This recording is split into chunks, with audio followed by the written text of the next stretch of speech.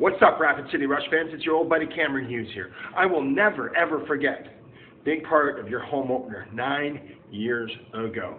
And coming back throughout the years and how much fun we had. And it's been a while. It's actually been too long. And I miss coming to Rapid City and firing up with you and the amazing Rush fans. So guess what?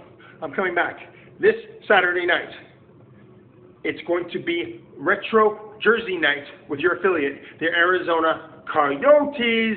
So we are going to take it from here to here to here to here to here. Are you in? You better be in. I'm getting ready.